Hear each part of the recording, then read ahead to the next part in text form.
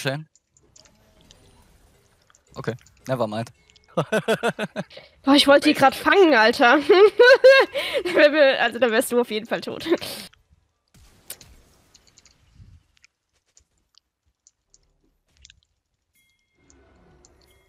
Mann, ey. Wir mal kurz hier.